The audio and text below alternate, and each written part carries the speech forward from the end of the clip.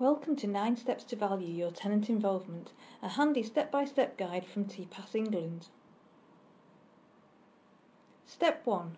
Be clear that the involvement you plan to do has a business case. In other words, that it will help your organisation to achieve its business plan objectives. Step 2. Think about the difference you want to make.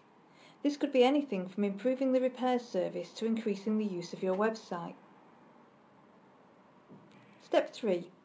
Determine the value you want to create through the involvement.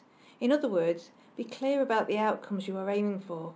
For example, tenants more satisfied with repairs or increased payments via your website. Step 4. Don't forget to decide what to measure and how you'll do it. Satisfaction with repairs may be something you measure annually. Numbers using the website will be easy to obtain.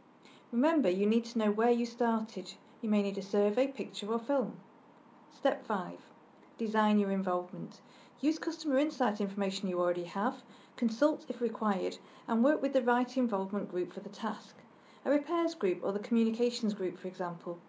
Don't forget to consider diversity, so use a range of suitable method, methods. Step 6.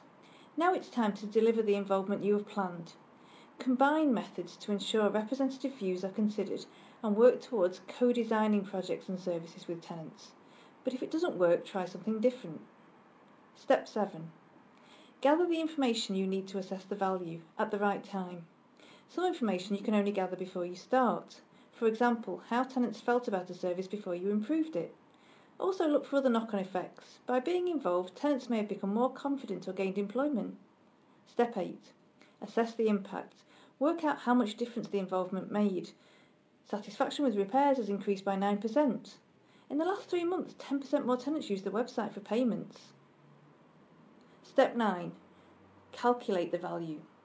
You can't claim that involvement made the whole difference. Agree with tenants how much involvement contributed.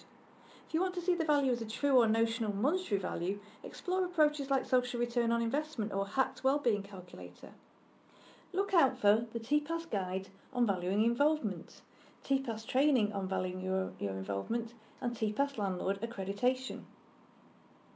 For more information, call 0161 868 3533, email info at tpas.org.uk or visit our website www.tpas.org.uk.